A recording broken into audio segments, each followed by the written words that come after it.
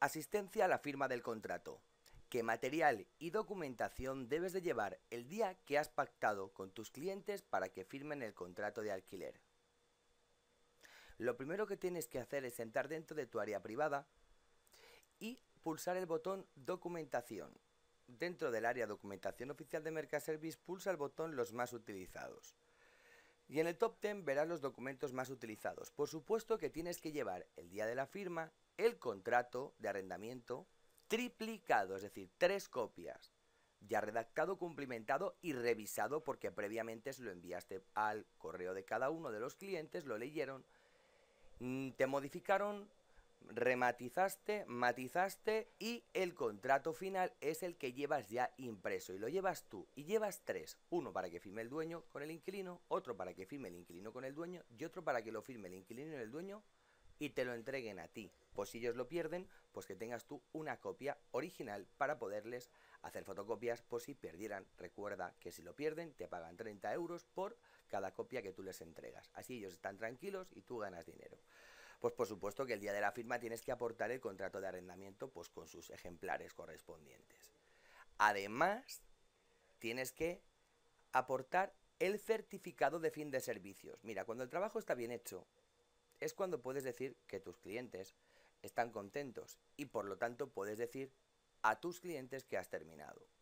Y ellos te firmarán este documento que se llama certificado de fin de servicios para reconocer tu profesionalidad, lo que te permitirá pues poder enseñárselo a futuros clientes. Mira, pues esta docena de clientes me han firmado que soy un profesional.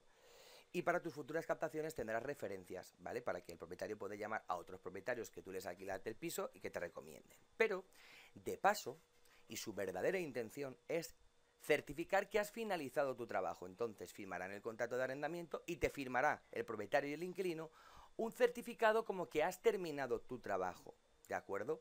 Y después le tendrás que entregar una tarjeta a cada uno, de forma que tienes que llevar a la firma del contrato el contrato triplicado, un certificado de finalización de servicios duplicado, duplicado para el propietario y otro certificado de finalización de servicios duplicado, duplicado para el inquilino, de forma que se queden ellos una copia y tú otra. Y luego una tarjeta para cada uno. Además debes de llevar bolis en abundancia, no uno, varios, por si son varios inquilinos o varios propietarios que puedan firmar rápidamente.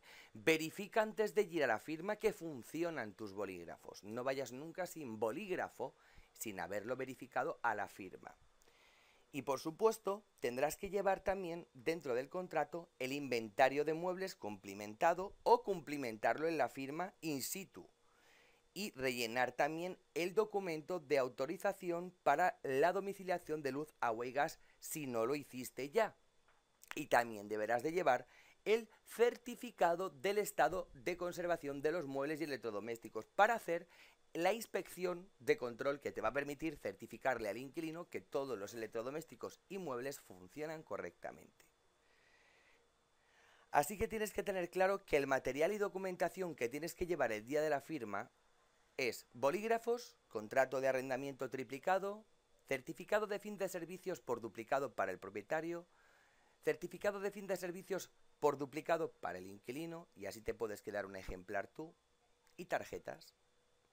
Además de tener claro que ya se leyó el contrato y que se lo enviaste de forma que solo es un mero formalismo el subir al piso, saludar, leerlo y firmar, y por supuesto cobrar.